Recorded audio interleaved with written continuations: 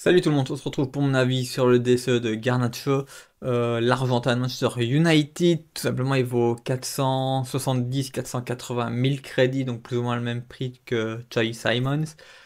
C'est un bon joueur double, enfin 4 playstyle plus, c'est un joueur évolutif qui peut monter à 98 en fonction des résultats de l'Allemagne il gagne du collectif si justement il joue un match de Copa tout simplement. S'il fait deux buts ou deux assists, il aura plus 1. Et s'il participe à 5 matchs, tout simplement, il aura encore plus 1. Donc avec l'Argentine qui est une des favorites pour la Copa América, c'est très possible qu'il ait justement son plus 2.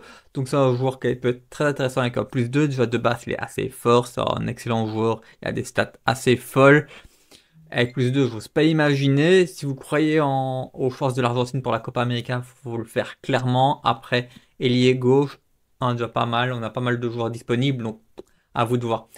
Il peut renforcer votre équipe, mais à mon avis, vous avez peut-être déjà aussi bien dans votre équipe, donc pas à vous de voir si vous avez besoin de ce poste-là ou pas dans votre équipe.